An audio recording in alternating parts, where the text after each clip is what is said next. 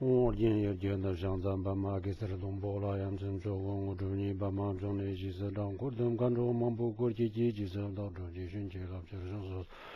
gara pa ma sar dong chu rung gara zam che dang chu pu rung zin chen po chu shang sum ni we tu che dang chu che kap che la zong la su ran de so shin chi lo shan la zang ya wa che Sanpayi zhanda badam zodang dhamma ngudu zoro dhurung garam samche dangzhi burung zin chenpo jeb shansam nyewe dhubje dangzhi chen guabje laso laso randi su shinji lo shanang sang yuwa shin sanpayi zhanda. Sodang dhamma ngudu zoro dhurung garam samche dangzhi burung zin chenpo jeb shansam nyewe dhubje dangzhi chen guabje laso laso randi su shinji lo shanang sang yuwa shin sanpayi zhanda. 소동도 몽우주 조로 마홍 바드르 거라 바마서도 마홍 바드르 거라 바마서도 마홍 바드르 거라 바마서도 마홍 바드르 거라 바마서도 마홍 바드르 거라 바마 마홍 바드르 거라 바마서도 마홍 바드르 거라 바마서도 마홍 바드르 거라 바마서도 마홍 바드르 거라 바마서도 마홍 바드르 거라 바마서도 마홍 바드르 거라 바마서도 제라다 장소라다 빈디다 소간다 니비 잡정서 나당 원본다 주저와 주당가 진별음 자더 소로 좀든 된공 본자 호랑 자로 건거로 주는 믿음 전에다 남다라서 제니 동근 주준 주준이 기다 그러라 원자 가다도 비도로 마르면 동등거래 지서베 노소가라 제다제 양로도 제양도 Bidar che dhoknyo monyo long le che chak dhok dhom za jang, marig mansar dhung ram nye ka che nye chom za ra dhana, dhok ne dhok chang sab shim dhar song yon dhok ne dhok dhya che dhok uk. Chib dhok che dham chang nye jan tim dhok long mansar jang wara yang lan dhok dhok, chib dhana che jim che rang wo si rin ji, dhok lo dhama man pa ram san. Kadang dham chu zhong lu dhok ba yi, lo dhok ubi na wab che dhok soro. 都年到上三平的所有的你早点这头。就照这当着你讲这道路门上讲我那样懒得的，真的那就今天了我这人去道路怎么能把它山。可当咱们就上路都把一路住不必那把觉得说了，了解进步，做成你没让上的马路进步那家。把个的当俺咱都什么都都把自己讲了想咋喽？好，我们现在开始讲课，请大家发菩提心，嗯，为了度化一切众生，大家发誓成佛，为了获得这个佛的果位，那我们。啊，闻此修心啊，最后能够呃，最后成佛的时候，去度化无量的众生，啊，这样子发菩提心，嗯，啊，然后呢，我们就讲今天的这个课啊，那今天的课我们就准备讲这个啊内家心的修法啊，因为 我们去年嗯在这里讲过这个外家心的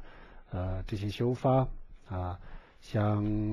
人生难得啊，死亡无常，轮回的痛苦，还有因果不虚，这四个外加心我们都已经讲过了。嗯，那么这四个外加心呢，啊，就是嗯修这个出离心的，啊，就是用来修出离心的。嗯，呃，我们大家都知道啊啊，就像宗喀巴大师。在这个普呃这个三主要道当中讲的一样，我们修心的人必须呃就注意啊三件事，嗯，第一个就是出离心啊，第二个呢啊就是菩提心啊，第三个就是真悟空心啊，呃那这三个当中呢，就是包含了这个所有的这个佛法的这个内容啊，也可以说。啊，这三个就是佛法的精华啊。那么这三个啊，我们这三个修法，我们怎么样修啊？比如说出离心，我们怎么样培养啊？从没有到有啊，从有到这个啊，最后的这个达到这个最终的标准啊，这个我们怎么样能够做到呢？啊，这个不是啊，因为这个这个不是以啊烧香。拜佛啊，念经啊，以不是以这样子的方式来这个完成啊，那是用什么样的方式完成呢？就是要大作啊，大作啊，修心嗯，才能够完成嗯。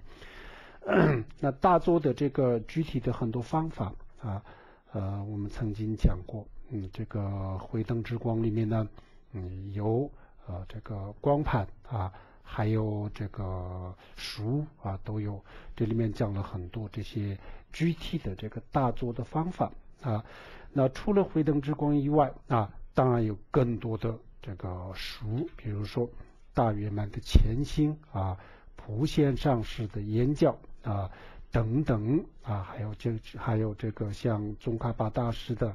呃菩提道次第广论啊等很多这个修法里面呢，讲了非常多的这个具体的修法啊，那这些都我们可以去修，嗯。呃，首先是要修这个出离心啊，呃，这个我曾经也讲过很多次了啊。当我们还没有出离心的时候呢，啊，先不忙啊，修这个呃密宗啊，或者是大圆满大手印啊，或者是这个空心啊，都不忙修啊。啊，还没有菩提心的时候呢，啊，还没有出离心的时候呢，啊，菩提心。的修法啊，也也是没有办法修了啊。那其他的修法就更没有办法，嗯，只是有这个次第，这个次第是非常的重要。嗯，首先修这个出离心啊，出离心的这个具体的修法，那就是我们去年讲的啊，这个人生难得啊等这些外加性的修法。通过外加性的修法，这个通过这个外加性的这个一系列的修法。啊，培养出离心，嗯，那么出离心啊，什么样子叫做出离心呢？这回灯之光里面呢啊，反复的这个提到了啊，出离心也有高标准的这个出离心，嗯，也有低标准的处理性啊，比如说比较简单的啊，低标准的是什么样子呢？最低的限度啊，比如说。普通人啊，还不学佛、不修心的人啊，他的人生的目标啊是什么呢？啊，就是赚钱啊，这个吃喝玩乐等这样子的一些这个时间啊，时间的这个物质的享受啊。还有，如果再高一点的话啊，有些人就是修人天福报啊，人天福报啊，人天福报就是说。啊，就这一生当中积累资料啊，然后呢，下一世可以这个获得这个人天的这个啊国位啊，就可以投身到人啊或者是天人当中，然后可以享受这个人天的福报啊，那这叫做人天成。嗯，那么这样子的这个修法啊，在这样子的冬季啊基础上啊，就这样子的发心。发心以这样子的发心啊，修任何法啊，修任何一个法，无论是烧香、拜佛、念经啊，或者是大作修禅定，嗯，啊，都变成时间法啊，都不变成时间法，嗯，那什么叫做时间法呢？嗯，时间法就是在这个轮回的过程当中啊，可以。啊这个呃享受这个人天的福报，嗯，但是呢不能啊解脱啊，更不能这个成佛啊，这样子的法啊叫做这个世间法。这个呃慧灯之光里面呢有一个叫做这个三个差别啊，这个里面讲的很清楚了啊，三个差别就是讲第一个世间法啊啊是什么？嗯，然后就是像。这个呃外道跟这个佛教的差别是什么啊？然后这个世间法和处世间法的差别是什么啊？然后就是大乘佛法和小乘佛法的差别是什么？就讲了这三个差别啊。这里面呢啊讲的很清楚了，嗯。那我们如果啊是以这种这种这个发心，嗯啊去修行的话，那就是只能在这个轮回当中啊。可以啊健康，可以长寿啊，可以发财啊，下一世也就可以赚到这个呃人和天人，嗯，但是呢，永远都不能解脱啊，这叫做世间法，嗯，然后要处世间法，处世间法是什么呢？处世间法就是解脱法啊，解脱就有两种解脱，一个是大乘佛教的解脱，这就是成佛啊；另外一个就是小乘佛教的解脱。小乘佛教的解脱呢，啊，就是就了脱了自己的这个生死啊，了脱了自己的生死的问题，嗯，但是呢，没有这个度化众生的能力。啊，这样子叫做小乘佛教的这个解脱啊，这两种解脱，嗯，那这两种解脱的最低的基础啊是什么呢？就是出离心啊，要有出离心。没有出离心的话，那就是呃这些啊都变成这个世间法啊。那么出离心的最低的标准，我们刚刚讲了，只要啊有啊，我从现在起。嗯，我的人生的目标啊，就是这个希求解脱啊，希求解脱，我一定要解脱啊。为了解脱啊，去这个听法修法，那有这种发心的话，那这叫做这个呃出离心啊，这个非常重要。嗯，呃，这样子的出离心呢，啊，自从有了这个出离心以后啊。在这个处理性的基础上，我们听经啊啊听法，呃修心啊念经，包括这个烧香拜佛啊，也能够啊变成这个解脱之印。就是说啊烧香拜佛也能够啊这个解脱啊。如果没有这种处理心的话啊，那不仅是烧香拜佛呀，修空心呢。啊修其他的法啊都不能啊都不能解脱，所以能不能解脱还是以我们自己自己的这个发心啊发心来呃这个决定。嗯，在这个整个这个佛啊学佛的过程当中啊，以我们的呃我们的发心就是要起到这个决定性的这个作用啊。呃，变成一个大乘的修行人还是小乘的修行人呢？也是啊，以我们的啊这个发心来决定啊。那变成一个外道，或者是变成一个佛教徒呢，也是以我们的发心啊来这个决定。这些都是这些都是内在的一种发心啊，并不是一个外在的心识来决定。嗯，所以呃，出离心非常的重要啊。啊，我们每一个人的这个生命啊，都是非常的有限啊，人生很短暂，嗯，然后呢，这么一个短暂的这个生命过程当中呢，我们还要啊，这个整个生命的啊百分之七十八十啊，都用来啊去做其他的事情啊，赚钱呐，家庭呐，工作呀，就是做这些事情了，嗯。那生下来的啊，真正的这个去听佛法啊，修心啊，这样子的时间就是非常的少，嗯。那这么这么一个短暂的这个时间当中啊，虽然本来就是这个我们学习的和这个修行的时间很短暂，那这当中啊，也没有修到这个出离心，也没有修到这个菩提心，没有抓到终点啊。那这样子的话呢，虽然是啊。念经啊、烧香啊、拜佛呀、磕头啊，这都做了，但是呢，因为没有抓到终点，没有出离心，没有菩提心，所以我们啊没有办法这个解脱啊，所以必须要修出离心，这是非常非常的重要，嗯啊，但是这个修法我们已经讲过了，那已经讲过了，我想。呃呃，今天我们在座的那应该是绝大多数都已经去年也已经听过了啊，还有苏达基堪布啊、伊西彭佐堪布，他们也在啊讲这个嗯潜心的修法啊，潜心的修法，这些都是非常重要的啊，一定要修，这是第一个啊。然后第二个啊，这个出离心我们基本上达到了它的标准的时候呢。然后修什么呢？然后就是修这个啊内家心，也就是说修这个无家心。嗯，修无家心，首先第一个是什么呢？就是皈依啊，先是修皈依。那然后第二个就是这个发菩提心啊，发了菩提心。呃，皈依这个这个无家心当中的皈依是大乘佛教的这个啊皈依啊，这个跟小乘佛教的皈依在动机上。在发心上有所差别啊，先修这个皈依，嗯，皈依完了以后呢，第二个就是要发菩提心，在菩提心呢，我们整个这个修行的过程当中是一个非常重要的，所以第二个就是发菩提心，嗯，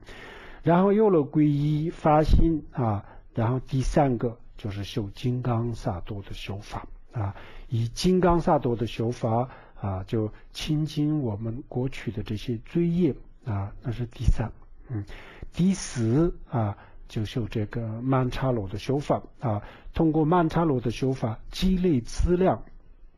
啊，积累资料，嗯，然后呢，最后一个啊，最后一个就是修上师瑜伽啊。那通过上师瑜伽，我们就通过这个修法，就获得上师的这个加持啊。传承上师啊，历代的这些上师，从释迦牟尼佛到我们的根本上师之间的上师的加持，就通过这个啊这个上师瑜伽的修法啊，来这个获得这个啊加持。哦，这个时候呢啊，所有的真悟空性的这些啊这个条件啊都具备了啊呃一皈依。就是通过大乘佛教的皈依，我们进入了佛门了啊。然后呢，发菩提心啊，使我们变成了这个大乘的修行人啊。然后金刚萨埵的修法，就是啊，通过金刚萨埵的修法啊，就清净了我们从无始以来所造的这些罪业啊。然后通过这个。那曼茶罗的修法也积积累了很大的这个资粮啊，那么这样子的话，所有的正悟空性的这些条件都具备了啊，在这种情况下，我们去进一步的去啊听这个呃更深的法啊，更深的法是什么呢？先是修禅定。啊，先是就禅定这个禅定的修法呢，呃，慧灯之光当中也有。那我们曾经也讲过了，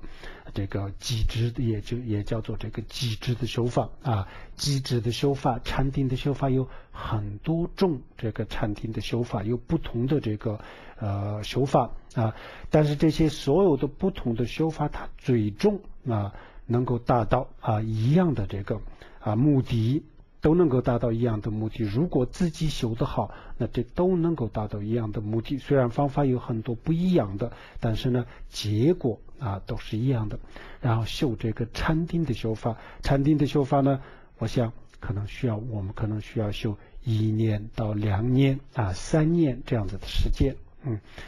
那这个修完了以后啊，然后再去听大圆满啊，或者是啊。大手印啊，这个时候有很多的选择啊。密宗里面呢有大圆满呐、大手印啊、十轮金刚啊，有很多种这个嗯修法啊。自己喜欢什么法就修什么法啊。自己对那一个修法有特别的这个心性啊，就是可以选择这个法，这样子才能够啊证悟啊，这样子才能够证悟。呃。前心呢啊，我们去年讲过了外加心啊，那可能有些人还没有修心啊，呃，多数人应该有修了啊。还有说大吉堪布在讲这个呃前心啊，那很多人也就跟着这个说大吉堪布的课程的进度啊，也在修啊，都是一样的嗯。那么我们啊去年讲了外加心啊，按理来说啊。呃，应该大家修了这个处理性了啊。那么今年啊，就讲这个呃皈依发行，还有就是嗯金刚萨埵的修法，这样子就几个内家性的修法啊。然后以后再有机会的话啊，然后就是这个金刚啊这个曼茶罗的修法啊，还有就是上师瑜伽修法，最后两个这个修法啊。第三年啊，第三年就。讲最后两个修法，这样子以后呢，外加心、内加心啊，都嗯就讲的比较啊圆满了，嗯，然后这个完了以后呢啊，第三年、第四年的时候就可以修禅定，嗯，然后第五、第六年的时候呢，可以修这个呃大圆满也好啊，或者是其他的这个空心的修法，就像仙宗里面讲的这个中观啊空心的修法。也好，都可以修了。这样子一步一步修，才能够有才能够有这个呃收获啊，有结果啊，否则的话是不可能的啊。我们呃千万不要以为啊没有修这个出离心啊啊没有修这个菩提心之前啊就可以修大圆满啊。也就是说，呃，没有出离心，在没有出离心、没有菩提心的啊这个呃情况下，也可以修大圆满，也可以证悟啊，千万不能这样子想啊，这个是不可能的，嗯，没有出离心，没有菩提心啊啊证悟大圆满，这个是这个是根本就不可能的，根本就没有这个可能性，嗯 啊，如果啊假使啊。假使在这种情况下啊，正悟的话啊，那这个正悟也就不会有什么，嗯，不会有什么这个真正的实际意义上，实际的意义啊？为什么呢？嗯，因为没有这个假心的这个基础啊啊，没有这个基础啊，所以嗯，虽然是正悟了，但是这个正悟呢，就会啊，一定会啊，就是比如说一个月、两个月。啊，以后呢消失了啊，消失了以后呢啊，再也找不回来，永远都再也找不回来，是这样子的。所以啊，我们修心就不能这个忽略这个过程啊，这过程是非常重要的。嗯，这个过程是非常重要。最终我们啊需要的是什么呢？当然是需要的是要证悟啊，要证悟空性。嗯，因为我们啊断除烦恼。啊，那断除烦恼不是出离心去断除烦恼啊，那是以什么心去断除这些烦恼呢？就是真悟空性的智慧去嗯推翻啊推翻啊我们的这个我执嗯推翻啊或者是摧毁我们的我执以后呢嗯然后所有的这些烦恼啊所有的烦恼也会啊这个也会。啊，这个消失，嗯，这是最终啊最终的目标，嗯，但是怎么样能够达到这样子的这个最终的这个目标呢？啊，这过程是非常的重要啊，我们忽略忽略了这个过程啊，要最后的结果，嗯，这个是不可能的。如果需要最后的这个结果的话，那这个过程是相当的重要，嗯，因为我们一个普通人啊，一个普通人。呃，业障很深重啊，呃，这跟我们怎么能够说明我们的业障深重呢？啊，怎么能够证明我们的根基很差呢？啊，因为释迦牟尼佛啊，这个出世转法轮已经这么接接近三千年啊，两千五百多年了，嗯，那么一个这么长的过程当中啊，我们没有得到什么啊。我们没有证悟啊，我们也没有断除我们的我执啊，我们还有我执，我们还有贪嗔痴，呃，什么样的烦恼都有，嗯，那么佛法在这个世界上就呃已经啊这么长时间啊，那我们为什么还都都没有做到什么呢？这就是说啊，我们的根基啊很差。所以我们没有得到什么。如果我们这一生当中啊再不努力的话，那就以后啊就更没有机会了。所以 我们呃可以是可以可以证明我们自己啊是一个嗯在佛教徒当中啊就是一个根基比较差的人啊。那么根基比较差，那我们怎么样啊能怎么样啊我们提升啊或者是升级啊我们的这个。这个这个根基呢，怎么样能够成熟我们的根基？这个有没有办法呢？这个是有办法的啊。一个普通的人啊，一个根本不不信佛的啊，从不信佛到信佛啊，从信佛根基不成熟到根基成熟啊，根基成熟根基成熟到最后的这个正悟啊。这是一步一步，这是有办法的啊。那么这个办法是什么呢？啊，就是加心的修法了啊。这加心的修法就是这个办法。通过这种加心的修法，我们啊可以可以提升我们自己的这个根基，使我们的根基成熟啊，根基成熟了以后才能够证悟。就像六祖慧能大师啊这样子的人啊，一句话就证悟了啊，一句话就证悟了，证悟空性了啊。那么像我们这样子的人呢啊，就呃。听了，比如说中观啊，一本又一本的中观的书，听了学了啊，听完了以后呢，还是不证悟啊，还是不开悟。那么为什么呢？嗯啊，我们人与人之间啊，为什么有这么大的差异呢？啊，六祖慧能大师这样子，他们也是学佛的，我们也是学佛的，那么为什么有这么大的差异呢？嗯，这个差别啊，不在于任何这个。啊，外在的这个形式上啊，而在于这个内心的这个根基上面啊啊，六祖慧能大师啊等过去的这些修行人根基非常的成熟，所以他一句话就可以成啊，可以这个证悟。那我们啊听了这么多法也就不证悟啊，那个原因就是根基不成熟了啊。那我们怎么样啊？让我们的根基成熟，我们有没有办法？我们的根基，也就是像六祖慧能大师，像他们这样子的根基呢？嗯，这个有没有办法呢？这个有办法啊，有办法。这办法是什么呢？啊，就是修家心啊，修家心大足啊，这个是一个啊比较辛苦的工作啊，就是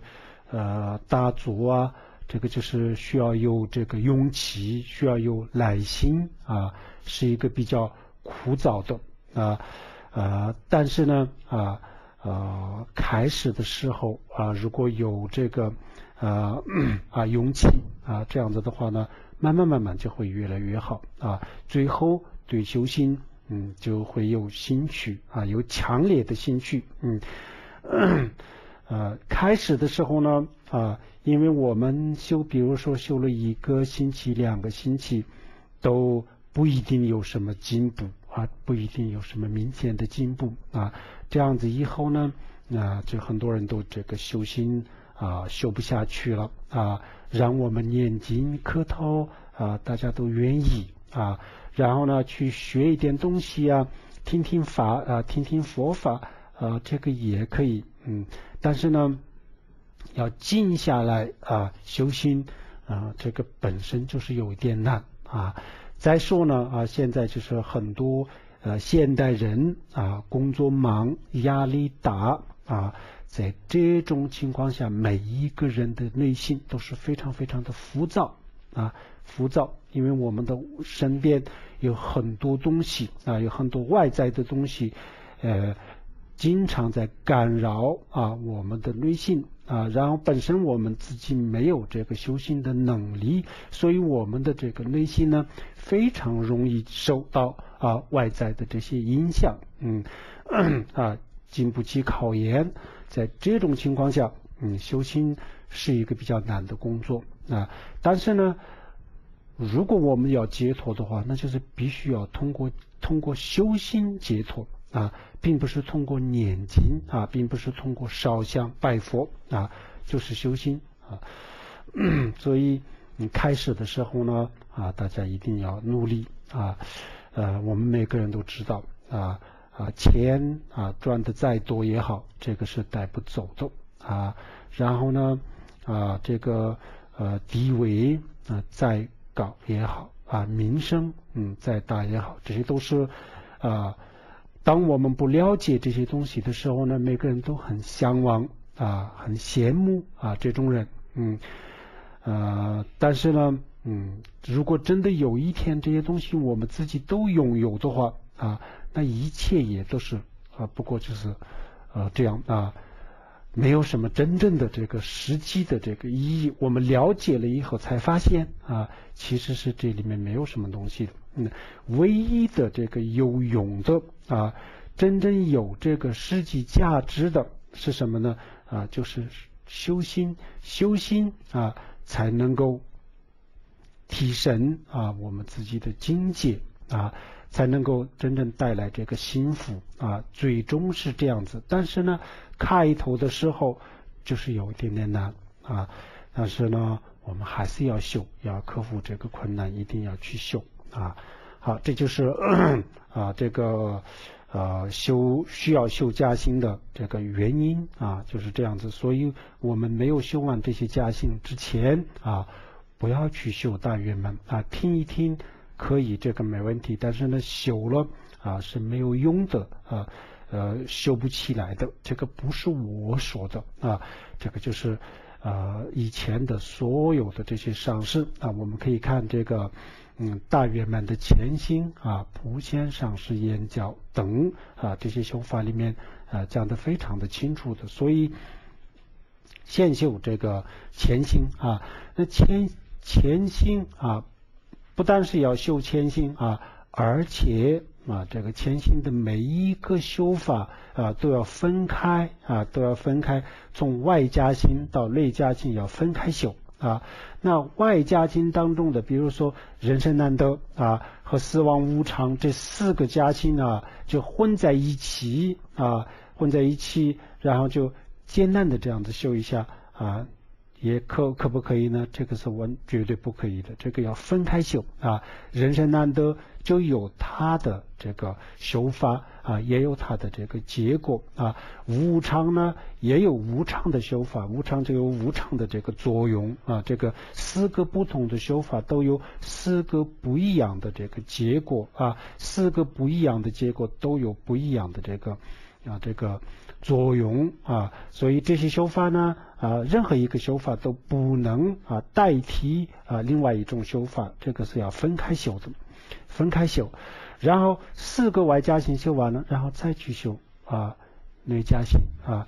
啊，这个是非常重要啊。时间的所有东西啊，时间的所有东西都是靠不住的，金钱、家庭、感情，包括自己的身体啊。都在这个变化当中啊，都在变化当中啊。这所有的东西变化，它有没有一个规律呢？它没有一个规律啊。它是它为什么没有规律呢？就是它怎么样的变化啊？它往什么方向变呢？就是要看它的当下的这个因缘啊。当下的因缘会，比如说今天的这个因缘啊，会决定啊。明天的这个即将即将要发生啊什么啊？就是说今天有什么样的因缘，就明天就会产生这样子的这个结果啊。所以这些这些变化呢啊都是说不清楚的，因为今天的当下的这个因缘啊有各种各样的。如果有好的因缘啊，每天都是好的因缘，那么每天的这个结果也是这个。啊，往好的方向发展，嗯，但是呢，如果啊，在这个过程当中啊，如果一旦遇到了一些不好的这个因缘的话，那么它的这个结果，它的这个结果也是啊，也是往不好的方向这个发展。所以啊，比如说身体啊，逐渐逐渐的衰老啊，还有就是还没有衰老的时候呢，生病啊。然后就是这个家庭感情啊，还有这个财产啊，都有很多很多这个意外的啊，预料不到的这些这个变化啊，这个是为什么呢？嗯，这是因为这些都在这个呃呃都在这个因缘当中啊，这个变化啊，那这些因缘是我们没有办法控制的，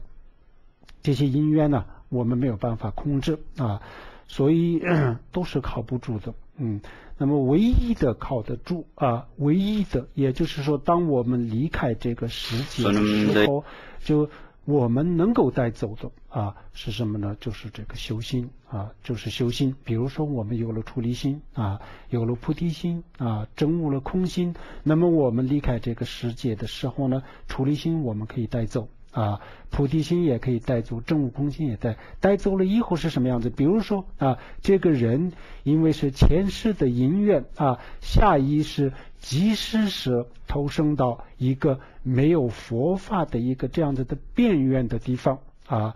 啊，即使是投生到一个这样子的地方。啊，但是呢，因为他过去的这个处理性和菩提心的作用啊，这个人在这个环境当中是与众不同的啊，他自己成熟了自己的善根的时候，他一定会修心啊，他的身边啊，在他的这个环境当中是没有这样子的修心的人，没有学佛的人，嗯，但是呢，因为他有过去的这个啊这个因缘，他一定会自己去啊啊这个学佛成就，这不就是这个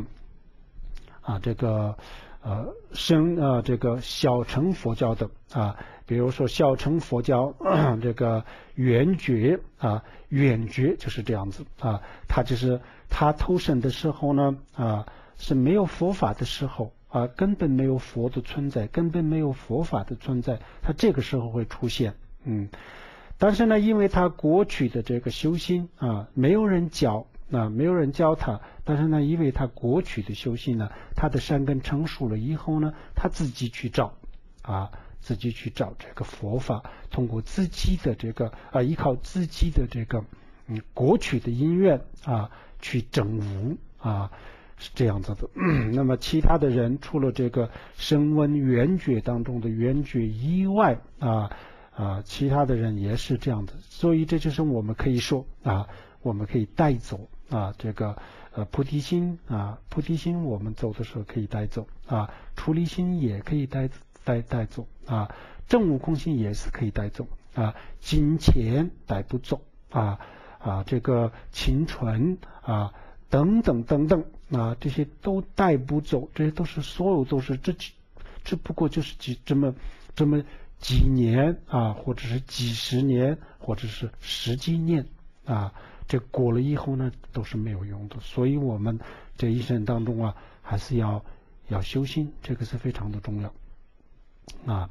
比如说我们这一生当中啊，只修了一个出离心啊，只修到一个出离心，一个标准的出离心，其他什么都没有修到啊，那也可以算是很成功了啊，也算也可以算是很成功，因为我们有一个标准的出离心，那么这个意味着什么呢？对于我们来说意味着什么呢？就是我们已经走上了这个解脱道了，嗯，已经走上了解脱道啊。已经在这个解脱的道路上啊，就已经迈了一大步了，所以这个对我们来说还是非常有意思的啊。在出离心的基础上，如果有菩提心啊、正悟空心，那就更不用说了啊。所以我们这一生当中啊，就是有一个这样子的机会，这个是呃千载难逢啊，所以大家一定要珍惜啊，一定要珍惜这个。虽然是我刚刚讲的啊。虽然是大家很忙碌啊，工作压力、生活压力，还有外在的很多很多的诱惑啊，是一个这样子的啊社会里环境当中啊，要去保持住一个非常平静的心啊，这个有一定的难度，嗯，但是呢，虽然是有难度，但是呢，这个也不是做不到啊，也是可以做的。如果我们自己能努力的话，也是可以做的啊，所以我们呢。我们的要求不高啊，即生成佛有这样子的说法啊啊，如果修得好，在密法里面呢也有这样子的方法啊，有即生成佛，当然是非常好了，但是可恐怕啊我们很难做到啊。真悟空心你有没有可能？非常有可能啊，真悟空心，在我们没有死之前，能不能真悟空心？这个是很有可能的啊。啊，菩提心有没有可能？这个更有可能啊。然后出离心有没有可能？这个还是相对来说还是比较简单的啊。但是如果我们不修心的话，这一切都是没有可能了那。所以啊，还是要修心啊，非常的重要。千万不要以为啊，我们比如说暂时啊，我身体健康啊，我心里就没有什么压力，嗯。然后呢，啊啊，有稳定的这个收入啊，家庭也很和睦啊，一切都很开心啊，很顺利，嗯，那么这个时候呢，很多很少很多的人就觉得啊，我已经是很圆满，不需要什么其他的了啊，在这种情况下，想要去修心的人就是很少了。啊，但是呢，我们千万不能这样子啊！这一切我们刚刚说的这一切啊，呃，都靠不住啊。到今天为止，我们身体健康啊，比如说有稳定的这个收入啊，都啊，一切都很顺利，嗯。但是呢，这个已经过去了啊，顺利的这个是这这这个阶段啊过去了。那以后呢，是不是一样的啊？是不是每天都是一样，每年都是一样呢？啊，这就是。不好说了，很有很多意外的突发性的事件啊，这个是为什么呢？因为这个因缘啊的原因，我们刚刚讲的这个因缘，谁都说不清楚，所以我们还是要珍惜这个时间，要修心啊，这个相当重要啊。修的时候把物界外加心和内加心分开啊，先把外加心修完啊，每一个都尽量的这个达到啊。它的标准，比如说人生难得啊，它的标准是什么？佛经里面讲的非常清楚，呃，慧灯之光里面呢有啊，慧灯之光里面讲的这些标准都是比较啊，比较这个呃低啊，比较这个低层次的标准，不是不是高标准啊，低标准啊，因为我们现在的人要做到这个高标准呢。离我们有一定的这个距离，我们先做啊低标准，然后呢，慢慢的这个呃发展，嗯，这样子比较好。所以 先修这些修法啊，然后这个四个外加性修完了以后呢，那我们就开始修内加性，从皈依开始啊，皈依发菩提心，一个一个修啊，尽量的就达到这个佛经上说的这个标准啊。这样子以后呢，我们可以成为一个真正的修行人啊，这个非常的重要。那我们今天呢啊，就讲这个皈依的修法啊，皈依的修法啊，我们在座的呃都呃已经皈依了啊，肯定是已经皈依过了啊，呃，但是这个是什么呢？这个就是说啊，皈依过的意思就是说我们已经受过了这个皈依戒。皈依戒，嗯，但是受过皈依戒以后呢，还要修皈依啊。皈依有皈依戒啊，受皈依戒，然后就是修皈依啊，有这样两个这个两个这个啊不同的阶段啊。受过皈依戒以后呢，是不是不需要修呢？啊，这个是两回事啊啊。受过皈依戒了以后呢，我们还是要继续去是这个修皈依的修法。啊，那皈依的修法，今天我们讲的这个皈依的修法是啊，大乘佛教的皈依修法啊。那大乘佛教的皈依修法当中呢，密法的这个啊，密宗的这个皈依的修法，密宗的皈依修法也有很多种啊。这个当中呢，是哪一种呢？就是大圆满啊，龙清心髓啊，大圆满龙清心髓的这个。呃，前心，嗯，啊，我们讲的都是根据这个大圆满的前心啊，普贤上师言教啊，就根据这本书讲的，嗯，那么这本书是大圆满的前啊，大圆满的前行啊，前行啊，前行的意思就是说啊，这个前行呢啊，修了这个前行以后啊。修完了以后，就是开始进入这个大圆满的正心的这个修法啊，所以叫做一个啊，所以叫做前行啊，也就是说，前行是大圆满修大圆满的最后的真正的修呃，真正的大圆满啊，修真正的大圆满的一个预备的啊，一个预备的修行。啊，一个预备的工作，一个预备的修行，这叫做谦心啊。那我们今天讲的这个啊，这个皈依啊，就是这种皈依。嗯，那这种皈依呢啊，首先我们 讲这个啊皈依的分别，然后呢再讲这个皈依的具体的修法啊啊。那皈依的分别就是说。皈依有多少种皈依呢？啊，我们可以简单的说，有三种不同的皈依啊，三种不同的皈依。嗯，啊，第一个啊，这个皈依是什么呢？啊，第一个皈依还不是大乘的皈依，也不是小乘的皈依啊，就是以时间法的皈依。嗯，啊，什么样的叫做时间法的皈依呢？啊，就是为了获得啊人天的福报。啊，而皈依佛门啊，或者是说啊，为了下一世啊，不堕地狱啊，不堕畜生，不堕恶鬼啊啊，或者是说下一世啊啊，为了这个健康啊、长寿、发财。就是等啊，这样子的这个这些为了这些时间的这个福报啊啊，为了获得这个时间的福报而皈依佛门啊啊，这种这个皈依叫做啊什么呢？就叫做这个时间的皈依啊，这个又不是大乘的皈依，又不是小乘的皈依，这叫做时间的皈依。嗯，呃，也就是说啊，这一生当中或者是下一生当中。为了避免一些灾难啊，为了避免一些灾难啊，比如说生病了啊啊，就是为了啊这个减轻啊这个病的啊痛苦，就皈依佛门呐，烧香啊、拜佛、念经等等啊，这些都叫做这个时间的这个皈依啊，这是第一个啊，我们不能这样子皈依，这是第一，嗯。第二就是小乘佛教的皈依啊，那小乘佛教的皈依是什么样子呢？就是为了啊，为了自己的解脱啊，就是为了了脱自己的生死啊，皈依三宝啊，这叫做小乘佛教的这个皈依。嗯，这是第二啊，我们也不能这样子发心，这是第二。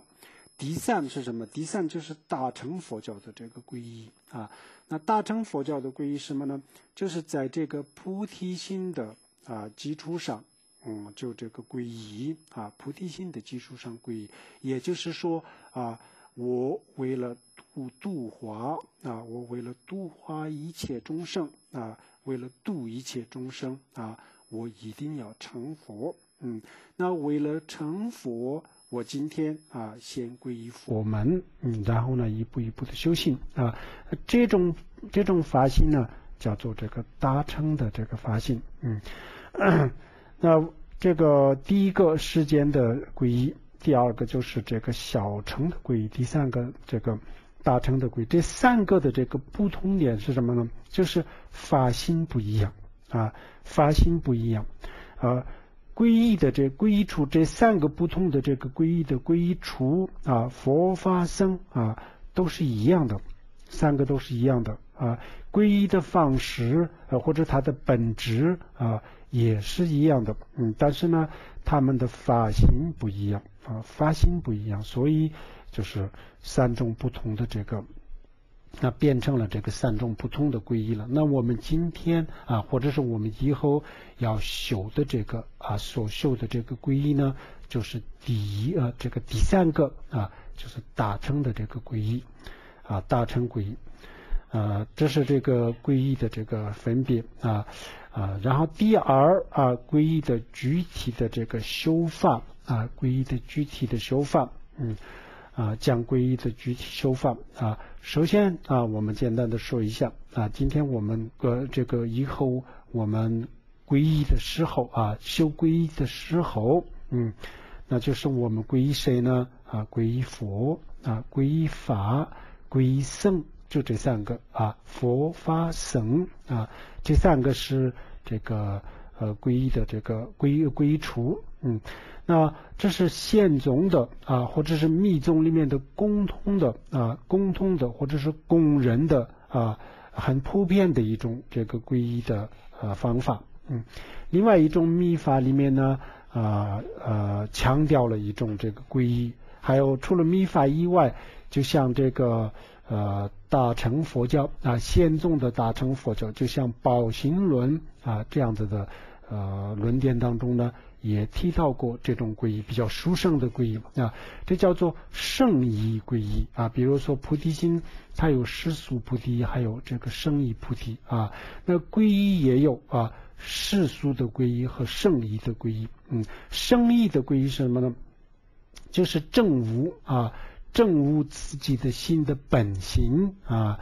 正悟心的本性，就像禅宗里面讲的啊，这种明心见性啊。这个叫做这个皈依，这也是一种皈依啊。但是我们啊，在无家性当中修的这个皈依呢，还不是这种皈依，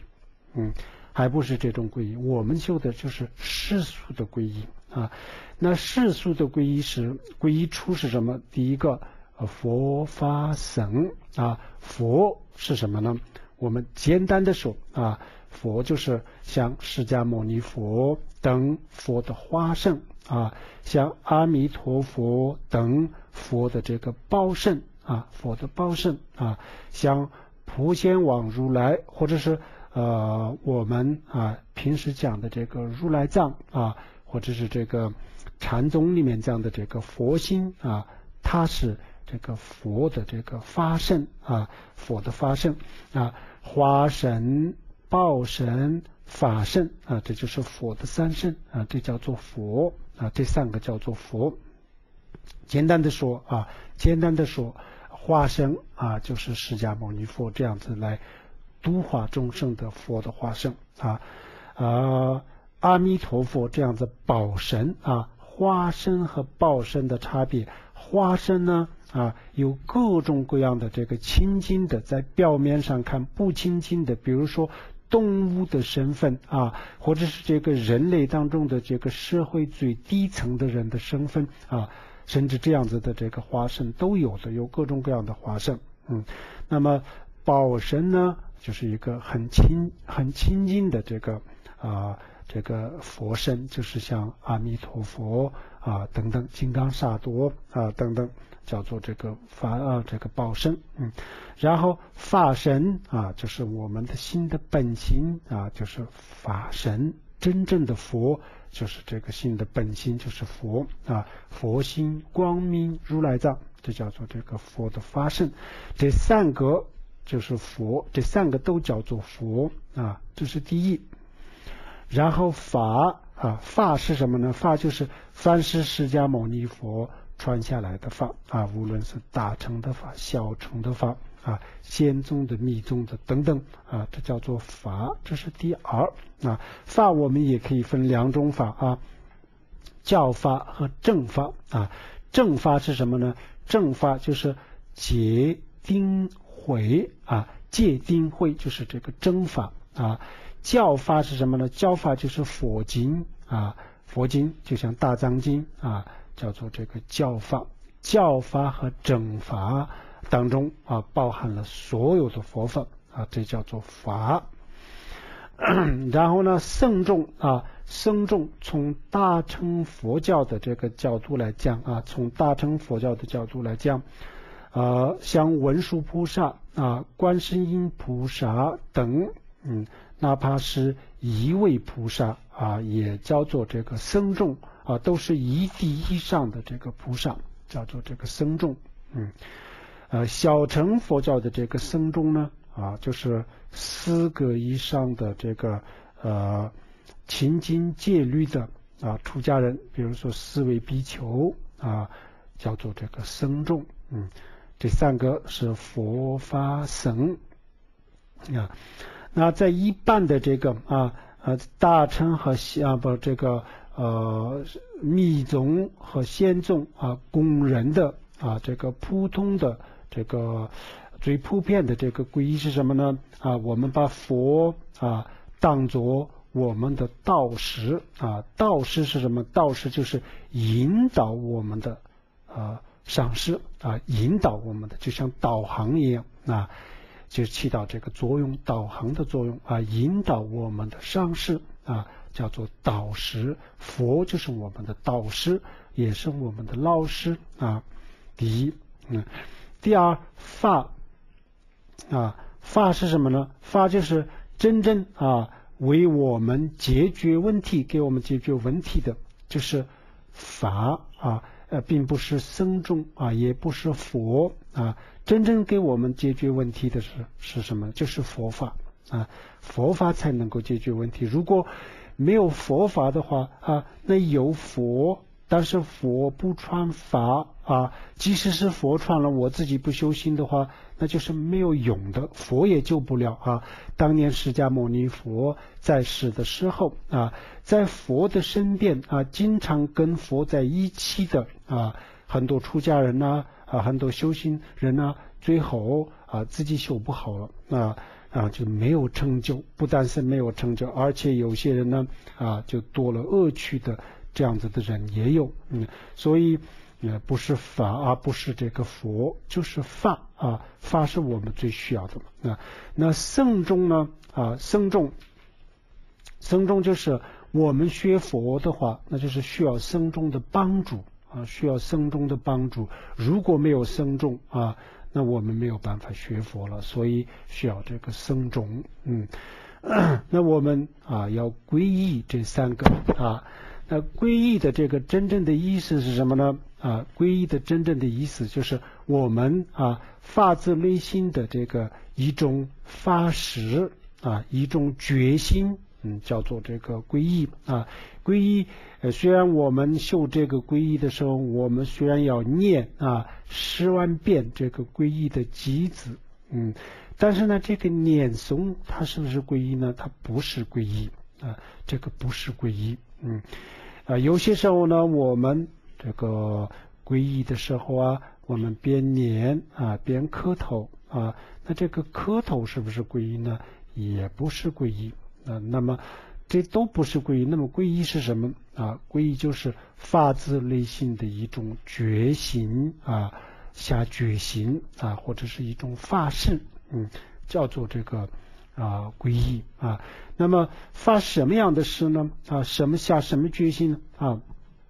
第一个我们皈依佛的时候啊，我从现在起生生死死啊，释迦牟尼佛等这个佛的化身。报神佛的发生啊，就作为啊我的这个唯一的导师啊，作为作为我的唯一的导师，从今以后佛才是我的唯一的导师啊。这种决心啊，这个决心叫做皈依佛啊，这就是皈依佛。嗯，然后第二皈依法啊，皈依法的时候呢，我们也下决心啊，发誓。我从现在起啊，释迦牟尼佛的法，那释迦牟尼佛的教法和正法，那才是啊作为我唯一的这个所修的法啊，只修释迦牟尼佛的法啊，不修邪门外道的法啊。这种啊这个皈依啊，这种决心叫做皈依法，那这是第二啊。第三就是这个皈依僧众啊，皈依僧众的时候呢，我们。也要发誓啊！从现在起，学佛的僧众啊，才是我的唯一的道友啊，导游啊，唯一的道友。这叫做这个 啊，这叫做这个皈依呃呃皈依僧众啊。这三个非常的重要啊。那我们为什么要这？为什么需要这三个呢？很简单啊，比如说啊呃，首先我们啊。要知道什么叫做学佛啊？我们可以从两个方面可以理解啊，这个学佛啊，第一个啊，学佛就是学释迦牟尼佛的智慧和释迦牟尼佛的慈悲心啊。简单的说，学佛就是向释迦牟尼佛的智慧啊学习，嗯。那么，像释迦牟尼佛的这个智慧学习的话，在这个学习的时候，这个过程当中，我们需要什么样的这个条件呢？有三个条件是必须要具备的基本的条件。嗯，基本的条件，比如说一个学生啊，在学校学习的时候呢，他必须要具备三个基本的条件。第一个啊，需要有个很好的老师啊，这是第一个。嗯，第二个呢？需要有他所学的，他想学的这个课程啊，这是第二个。第三个呢啊，就是需要有这个同学、家长以及啊其他人的帮助。只要有这三个，然后就可以学习了啊。同样的，我们学佛的时候呢，啊，需要有老师，老师就是释迦牟尼佛啊，佛就是我们的学佛的这个老师啊，这是第一。然后第二。啊，法就是我们所学的这个课程啊。如果没有所没有没有法，那么虽然是有佛了，但是呢啊，不能解决我们的生老病死的问题啊啊，所以这个佛呃法是第二啊，第三僧众啊，就是我们的这个导游同学一样，需要他们的帮助，没有僧众的帮助啊，那我们没有办法这个啊没有办法啊学佛，所以啊就要皈依这三个啊，皈依这两个字的意思啊含义是什么呢啊？依止啊，依靠嗯。依赖啊，这样子的意思，嗯，那比如说学生，嗯，在学校读书的时候呢，他要依靠老师啊，依赖他的老师啊，这个依止他的老师，为什么呢？因为他向老师学东西啊，然后他要依靠这个课本啊，这课本，他为什么他学这里面的东西？所以要依赖这个啊，所以要学这个皈依法，然后呢？也要依赖啊他的同学家长的帮助哦，才能够学习啊。同样的道理，我们学佛的时候，就是为什么要皈依这三个呢？啊，就是这样子的原因。这是一个啊。从另外一个啊角度去讲的话啊，另外一方面讲的话，比如说啊，首先学佛是什么意思呢？学佛啊，是学佛的内容啊，学佛的目标是什么啊？就是断除啊，我们自己还有其他人啊，断除所有众生的烦恼啊，断除所有众生的这个生老病死的痛苦啊，这个叫做学佛，这个这个叫做这个对，这个叫做学佛。那那怎么样达到这个这个目的呢？嗯，那这个就是需要三个条件啊，比如说。病人啊，在医院治病的时候，就需要三个基本的条件啊。第一个就需要有很好的医生啊，这是第一。嗯，第二啊，就需要有很好的药物啊。第二，第三啊，就是帮助病人啊，呃，打针、吃药这样子的这个护士啊，就需要这三个帮这这三个条件啊。只要有这三个条件可以治病啊，那同样的，我们的这个学佛的时候呢，医生是谁啊？给我们治这个贪嗔痴啊、生老病死的痛苦的医生，释迦牟尼佛啊，佛就是我们的医生，所以我们要依赖。比如说病人啊，病人他要依赖他的医生，依靠他的医生啊，医治他的医生，为什么呢？他这样子，他才能够解决他的痛苦啊。同样的，我们也要依赖释迦牟尼佛，依靠释迦牟尼佛啊，因为他是我们的医生，这是第一个啊。第二个，皈依法的时候啊，一样的这个，比如说病人啊，他要依靠这个药物，依赖这个药物，抑制啊这药物，因为这药可以解决他的痛苦。啊，同样的，我们学法的时候呢，啊，这个依靠依赖这个佛法的原因也是这样子，这是第二啊。第三啊，这个啊，这病人啊也要依赖啊，依靠护士的帮助啊。那我们学佛的时候呢，也要需要这个僧众的帮助啊。如果没有僧众，我们没有办法学佛呀。比如说释迦牟尼佛啊。虽然是成佛了、转法轮了，但是呢，我们啊没有福报啊，亲眼见到这个释迦牟尼佛啊，亲耳听到这个释迦牟尼佛的话。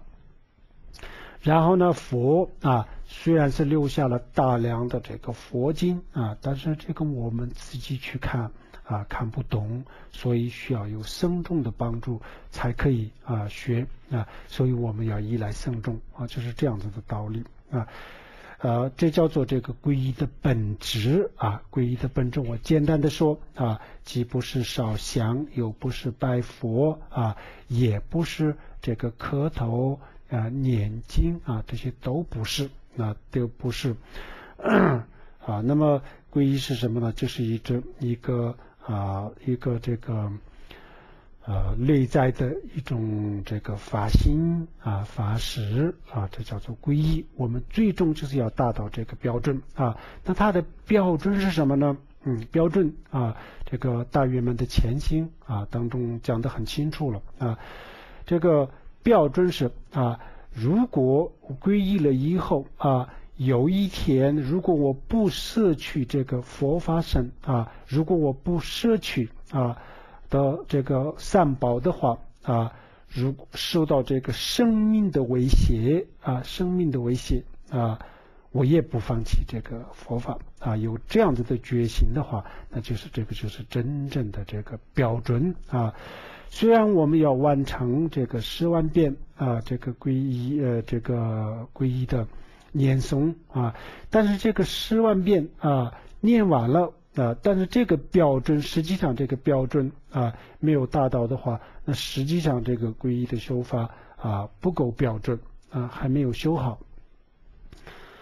嗯，如果还没有念完这个十万遍啊。之前啊就已经有了这样子的这个标呃这个已经达到了这样子的标准的话，那啊是不是这个实际上已经修出皈依了呢？实际上已经修好了这个皈依啊，但是呢这个十万遍念诵啊，我们还是要念完啊。这个五加心当中每一个都是这个，虽然这个嘴巴念虽然不是最重要了，但是呢还是要完成的。嗯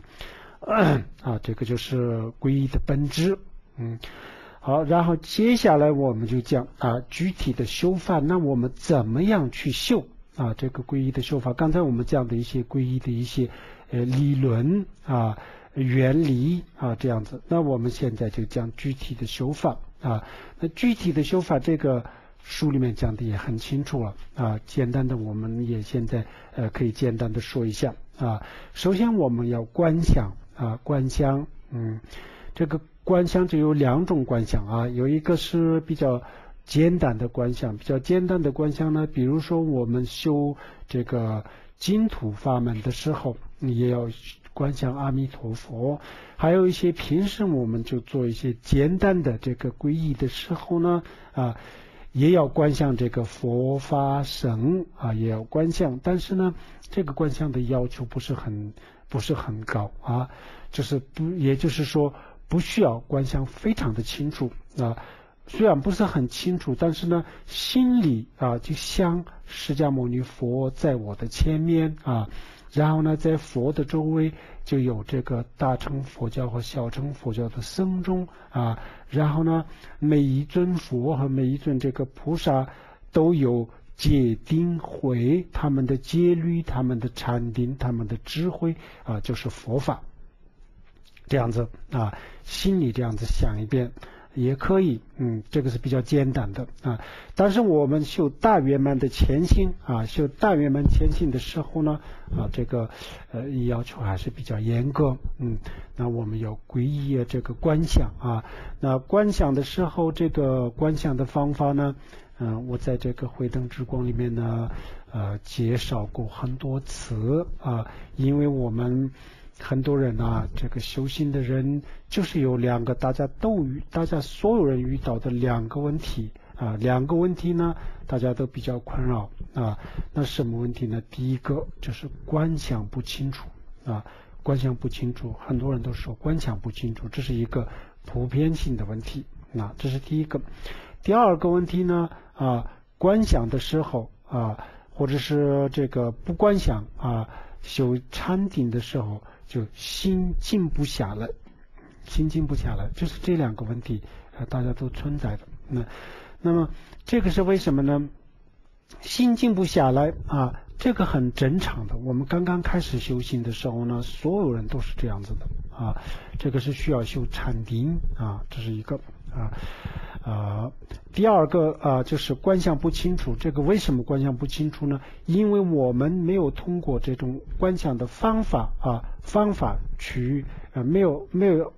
没有按照他的要求去观想，所以观想不清楚，所以观想的效果不好啊。那他的要求是什么呢？啊，简单的说，我们首先啊，就要清这个归经的唐卡啊，归经的唐卡。啊，然后把这个唐卡放在前面啊，归经的唐卡呀放在前面啊，然后呢，我们就坐在这个归经的前面，然后呢，两只眼睛啊就看这个佛像啊，先是看中间的莲花生大师嗯，看看莲花生大士啊，然后呢再看这个周围的这个佛呀、菩萨呀啊，其他的这些三宝，嗯，这样子以后呢，时间长了以后啊啊，就是在心里啊或者是在眼前啊，非常清楚的这个非常清晰的啊显现出来啊，这个需要一定的时间啊，这个恐怕是。一个一个星期、两个星期，可能一个星期可能五六天、三四天还不行，嗯，还是要花一点时间啊，就把唐卡放在前面，嗯，然后呢，在唐卡的面前呢，就供一个简单的供品啊，然后呢，我们大坐就坐在这个唐卡前面，然后呢，心里不想任何事情啊，过去的、未来的什么都不想，心完全静下来啊，然后呢。两只眼睛就定在这个莲花上啊，或者是周边的这个其他的呃佛菩萨啊的这个，先看脸部，然后再看身体啊。这个我在书里面介绍的很清楚了，就按照这个顺序呃去看啊。然后就最后啊，就闭着眼睛的时候呢，也就是啊，就是非常清楚的。啊，先显出来的时候就就修成了啊，啊，这时候就可以不需要再观再观想了啊。那观想的时候呢，啊，这个这个唐卡上面的内容是什么呢？啊，我们观想这个呃唐卡上本身就是本身就是花了啊啊，第一个就是呃一个如意树，中间就是一个很大的树啊，然后这个树有这个。五个树树枝啊，前面啊，后面，然后左右中间啊，那中间的这个树枝上啊，就有观想莲花生大石，观想莲花生大士，然后观想的时候呢，我们这样子观想啊，这个莲花生大士的它的本体啊，它的本体就是观想为我们的。啊，这个自己的金刚上师啊，然后呢，他的这个金刚上师的这个啊外毛啊相毛就观想为这个莲花生大师啊，莲花生大师什么样子呢？这个佛经啊，这个呃前经里面讲的很清楚，我们就不需要再讲了啊，就观想莲花生大圣，嗯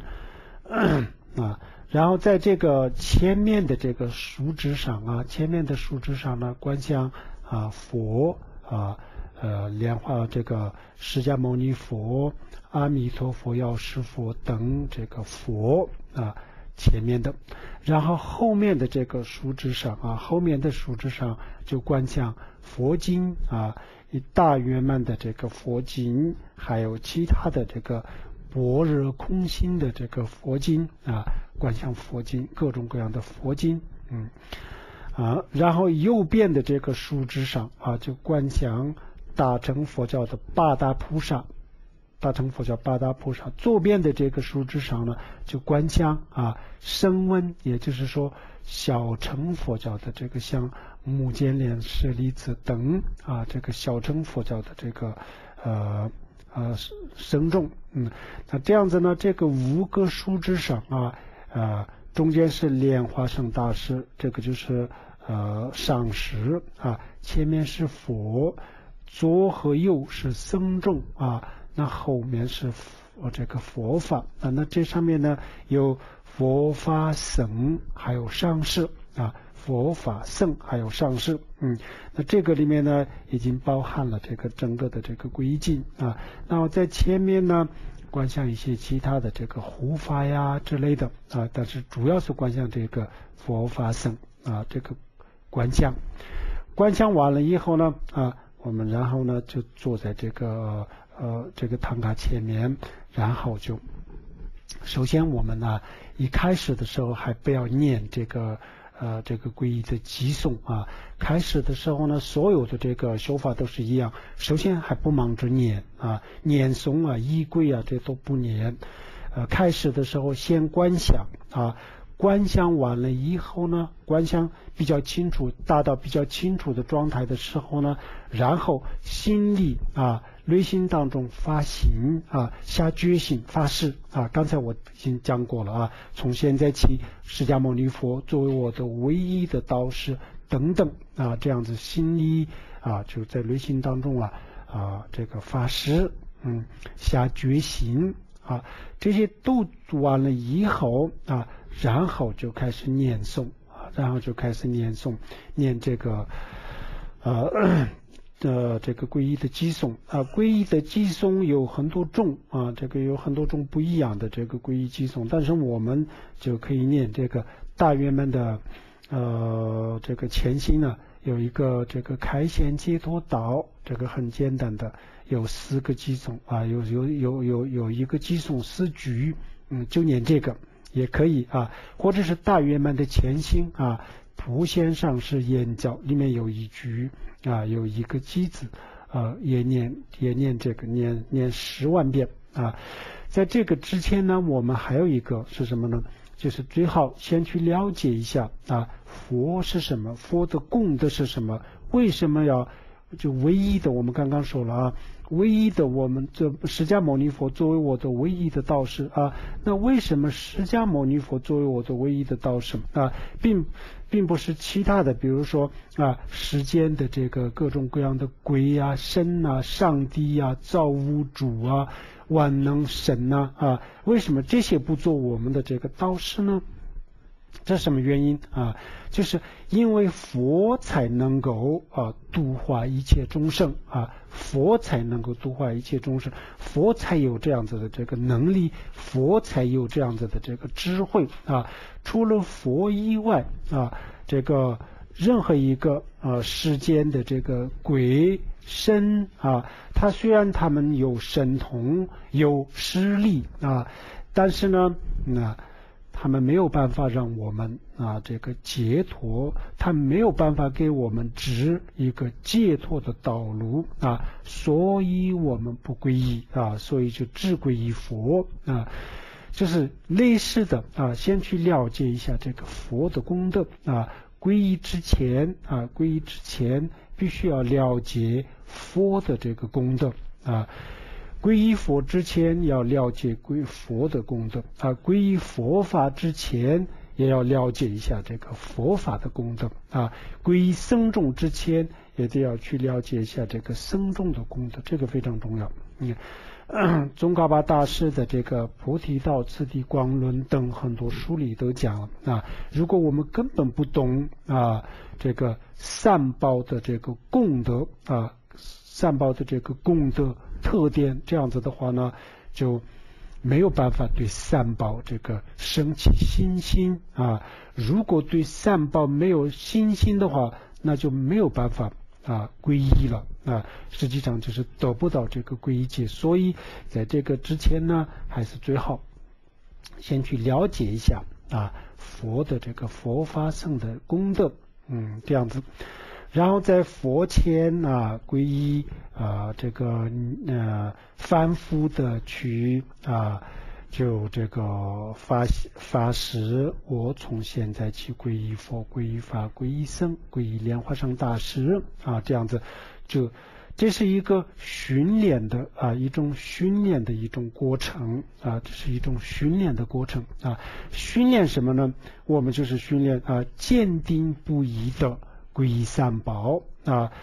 呃，最后要达到这个训练，最后要达到什么样的目目标呢？啊，我们刚刚讲的这个最后的这个目标标准是啊，如果我们遇到了这个生命的威胁啊，也不放弃三宝啊，也不放弃三宝啊，去达到这样子的标准啊，这个时候呢，就这个我们已经有了一个非常标准的。嗯，这个皈依啊，也就可以说，从此以后呢，我们自己也就是啊，成为一个非常标准的这个佛教徒啊，非常标准的佛教徒啊，这样子啊，然后这个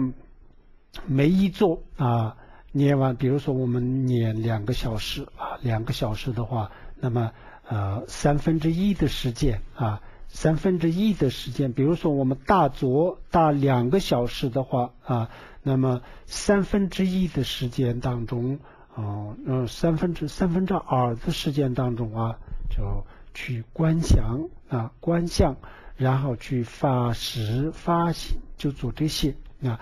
然后剩下来的三分之一的时间当中，就去念诵啊，这样子。但是很多人的这个时间啊。啊不多啊，然后大家都很忙啊，在这种情况下呢，嗯，这个念诵和这个观想的这个时间啊，自己调整啊啊，但是最低的限度也是啊，先啊不念诵啊，观想啊，观想完了以后呢，去这个发誓啊，下决心啊，必须要必须要经过这两个，这个完了以后啊。然后呢，虽然是没有还还没有过这个啊三分之二的时间啊，但是呢，一定要在这个之前呢，要认认真真的去观想一下发心啊，然后就开始念诵啊念啊，最后念完的时候啊，最后念完的时候呢，我们开始啊这个起坐的时候啊，然后这个时候我们观想啊啊。这个首先是我们刚才观想了佛菩萨啊，这个我们呢自己还有父母呃，这个这一生当中或者是上一世的，比如说自己的仇人啊，伤害自己的人或者是天人啊、非人啊等等这些这些众生呢，都观想在自己的周边，然后观想啊，我们大家一起皈依三宝啊，一起皈依三宝就是。这样子观想啊，结束的时候啊，结束的时候呢，结束的时候，首先我们观想我们自己，包括自己在内，然后呢，周边的父母，还有仇人，还有其他的众生啊，所有的众生都融入这个啊莲花生大师的心口啊，莲花生大师的心口啊。皈依的时候和金刚萨埵啊，这些修法都有一点点不一样啊。比如说金刚萨埵的修法，还有上师瑜伽的修法的时候呢，啊，上师华光融入我们啊，或者是金刚萨埵华光融入我们啊，是这样子。嗯，但是在皈依的时候呢，就不是这样子。皈依的时候，皈依的时候也有这样子的修法，但是我们这个修法呢，大圆满的前心呢。浓清音体、浓清心水的这个修法就不是这样子啊。我们自己啊，我们把自己观想在这个地面上啊，面前的呃虚空当中就观想了这个上师三宝了啊。那我们所有的人啊，就融入啊这个莲花生大师的心口啊，莲花生大师心口。然后呢，莲花生大师周边的这个啊，前面的佛，后面的佛经啊，然后左右的这个呃呃僧中也就开始慢慢的发光啊，发光以后呢，最后就是融入到这个莲花生大师的心间啊，莲花生大师的心间，嗯啊，那么这个时候呢，只剩下一个莲花生大师了啊，我们地面上的这个皈依。呃的这个钟声都已经进入了呃，已经融入了莲花生大师心口，然后呢，周边的这些佛菩萨护法也都融入了莲花生大师。那这个时候呢，只剩下一个莲花生大师啊，然后莲花生大师也就是慢慢的化光啊，化光的意思就是说啊，一个这样子的佛像啊，从它的边缘上慢慢变成光啊。之前呢，这是一个佛像，一个莲花生大师啊啊，当然不是一个佛像啊，它是一个活的这个呃这个莲花生大师啊。那从边缘开始发光，发光的意思呢，它就变成首先是一个人的身体啊，然后慢慢就变成一团光啊，最后呢呃没有这个头啊手啊。没有这些形状，就是一个圆圈啊，就是一个圆圈，一个明点，这个叫做一团光啊。然后这个光呢，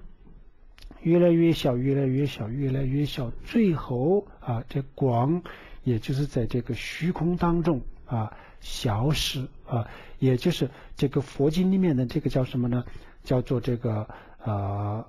融入法界啊融入法界，融入法界的意思，最后就是在虚空当中啊就消失了。嗯，那这个时候啊只有虚空啊，没有任何的这个。呃，时间、空间啊，佛、菩萨啊，归经啊，归除、归者啊，什么都没有，一切都在这个虚空当中消失啊。这个消失的时候呢，然后我们的心啊，静下来啊，静下来啊，就这个时候呢啊啊，不不不追究啊过去的事情啊。然后呢，也不要去迎接未来的明天、后天要干什么、做什么啊，也不要去迎接未来的这个事情啊，也不要去这个啊执着当下的任何一个事情啊，在这种状态下静下来啊，静下来什么都不想。但是这个什么都不想，这个是什么状态呢？啊，这个我们一定要知道啊。当我们皈依啊发心或者是这个前心还没有修还没有修完之前啊，这个什么都不像是什么意思呢？这个叫做阿赖耶识啊，也就是说，也就是说啊，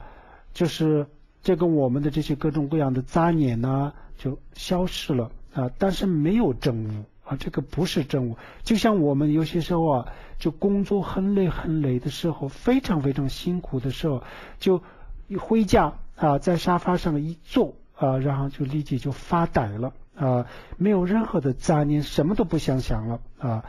哦，就是这种状态是一样的，一样的，所以这个不是禅定啊，不是，更不是真悟，什么都不是，只是心里没有什么杂念而已啊，千万不要以为这个是什么境界了，这个不是什么境界，但是呢啊，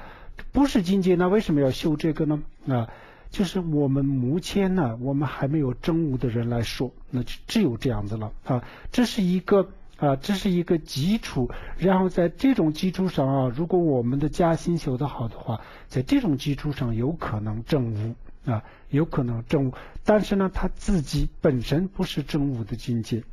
正悟的境界，他离正悟啊还有很大的距离。嗯，但是呢，这个可以作为一个基础啊。这个以后我们修禅定的时候呢，也就是修这个禅定啊。禅定，禅定，大家都说禅定。什么是禅定呢？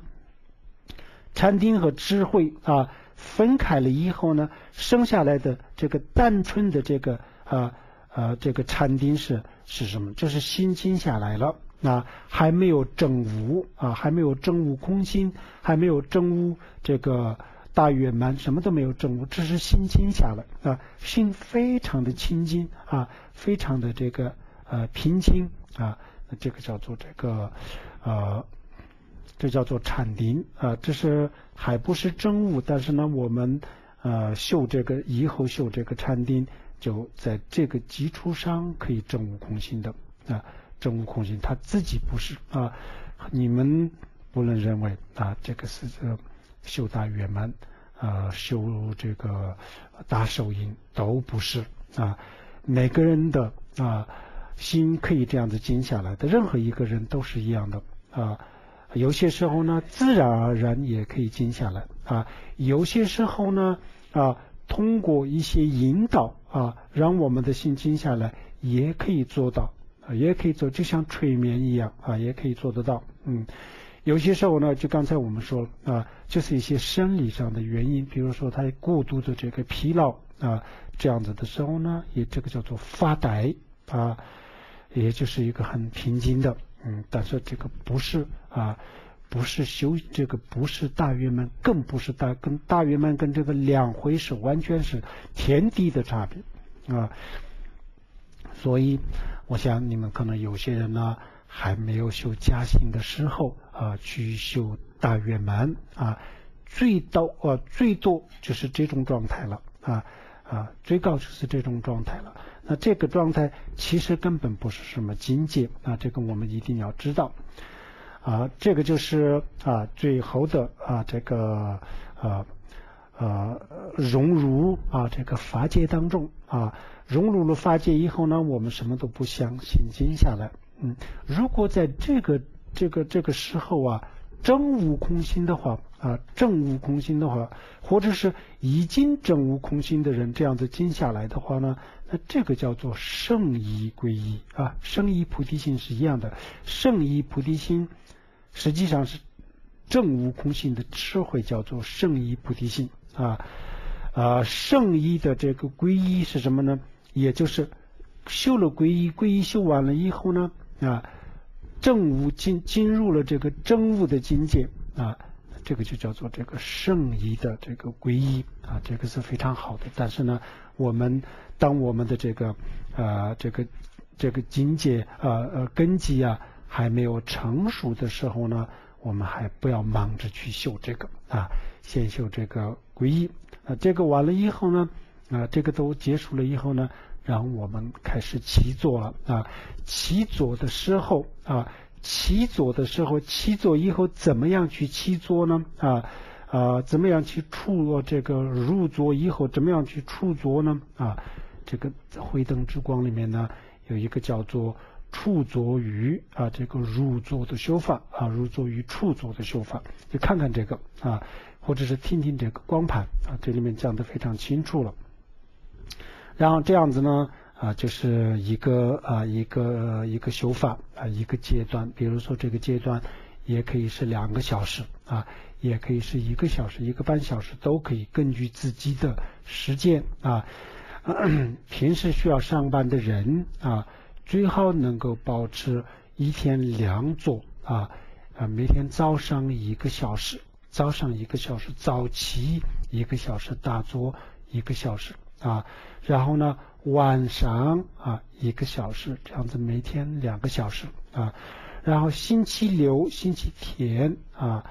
如果没有什么其他的这个事情的话啊，那就呃在多加两桌或者是一桌啊，比如说早上一桌，上午一桌啊，然后呢嗯晚上一桌，下午一桌，每一桌啊每一桌是两个小时。两个小时，那么一天就休八个小时，这样子就非常好了。星期六、星期天啊，然后有假期啊，假期的时候呢，我们也可以就在周边的啊一些这个呃寺庙啊，或者是一个比较安静的地方去啊，就大家啊，比如说呃一个小组啊。或者是十几个这个师兄啊，就大家一起共修啊，就修七天啊，闭关七天，闭关十天，闭关五天，这样子专门修这个皈依的修法的话，那这个效果也是非常的好啊。只有这样子修啊，啊，上班的人呢，就只有这样子修啊啊。不能，我们一直都说没有时间啊，没有时间。那没有时间，一年一年时间会过去的啊。那这样子的话，永远都修不完加薪啊。所以还是要每天要抽一两个小时的时间啊去修啊，这个非常重要。这个起坐以后的修法啊和如座的修法啊都是这样子。那我们今天的这个啊修法呢？嗯，这个讲完了，然后我再串一下啊，串一下这个修法啊，这个传承是非常重要啊。这个藏传佛教，还尤其是这个密法啊，里面呢，这个非常的重视呃这个传承啊，非常重视传承啊。那传承它就是有两种意思啊，两种含义啊。第一个是什么意思呢？就是。传承啊，是这个从比如说呃，从这个莲花生大师啊，到我们的这个根本上师之间啊，这个发脉啊，这个发脉从来没有间断啊，从来没有间断，一代一代这样子这个传下来的啊。那么传下来了以后呢，这个当中啊，这个发脉没有间断，这样传下来了以后呢，这个里面啊就有。这个传承上师啊和根本上师的这个加持啊有加持这是一个意思啊，这就是一个意思。另外一个意思呢，呃，如果没有传承啊，没有传承，我们自己去看书啊，自己看书看一个这个，比如说皈依的修法啊，我们自己去看一本，看一遍两遍的话，呃，字面上的很多内容我们也就也就，如果没有人讲，我们也就可以理可以了理解了啊。但是呢，嗯，这个。还是要听啊！如果有些细节的这个修法上的问题啊，如果我们自己去看书，这个不一定能够懂啊。所以在不懂的情况下，这样盲修瞎练这样子的话，第一个就是修心啊就不会有结果啊。第二个呢，甚至是啊修心的过程当中会出一些问题啊。所以就是。为了避免这些问题，所以必须要有这个传承啊，必须要传承。也就是说，啊，我们传这个法的话，那就是必须要有一个啊，这个至少啊，至少我们在我们的上师啊那里听过了啊，听过了，就是一个这样子的人啊传下来的话呢，那么我们的这些修心的啊一些细节。上面的这个方法啊，就呃能够掌握啊，不会有什么问题啊，不会有不会出什么问题，修行上的问题啊，所以这个传承非常的重要啊。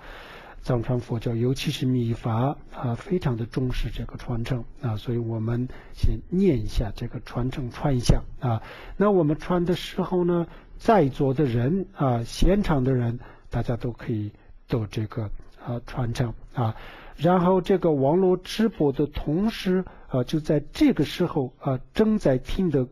各个地方的这些人啊啊，我想也可以得到这个传承啊。然后从明天以后，我们会往上这个滚动的播放，这个时候呢，已经没有一个人在传了啊，所以这个时候呢，我想啊，我猜的话，这个时候是不会得到这个传承。啊，不会得到传承。那现场的人和正在讲的时候听的啊，这些人呢，无论是在在啊再远的地方的人，我想应该是可以得到这个传承啊。我推理猜测的话，应该是得到这个传承啊。得到这个传承以后呢，就可以修了啊。就这样子，那就这样子，我们回想。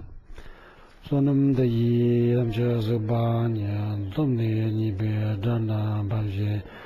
jirga nanji walung chupayi chibim zulin zhuwa zhurvar shu